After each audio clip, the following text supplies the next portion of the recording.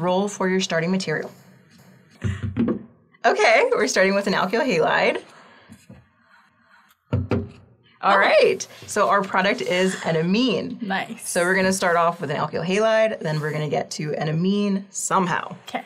Alrighty, so our alkyl halide would look like this, Okay. and we're gonna try to get to Oh. an amine. Okay.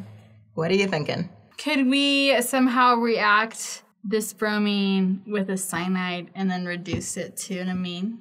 Beautiful. That work? Keep going. Yeah. Okay. Keep going with your thought. Okay. So What would we have there as our reagent? just KCN work? That works as a spectator ion, potassium works, or sodium is a common one that you've seen. Oh yeah, that does Yeah. make sense. So we can write that in.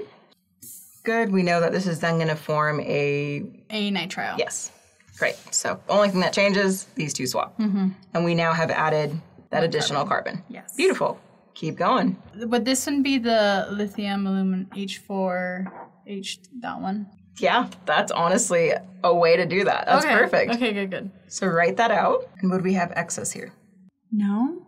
In this case, yes. I do want to note that for some professors or, you know, textbooks, sometimes they put excess, sometimes they don't. Yeah. And then other times they'll also place our acid as a second step. Mm-hmm. I do want you to commonly at least place, you know, both of those steps because that's how you typically see it. That's totally fair.